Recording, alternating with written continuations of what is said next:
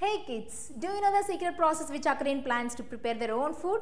Yes, that magical process named called photosynthesis. Plants take cool water from the soil and a carbon dioxide from the air and golden beams of light from the sun. By mixing all these natural ingredients in the chlorophyll pigment which is found mainly in the leaves and they prepare the sweet glucose and guess what along with that they produce oxygen also the air we breathe. Now let's learn the proper definition of the photosynthesis. Photosynthesis is the process by which green plants prepare their own food by converting carbon dioxide and water into carbohydrates by using chlorophyll pigment in the presence of sunlight.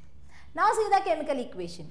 6 molecules of carbon dioxide combines with 12 molecules of water.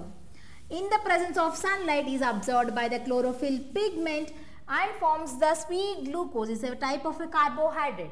Along with that 6 molecules of oxygen and 6 molecules of water is produced.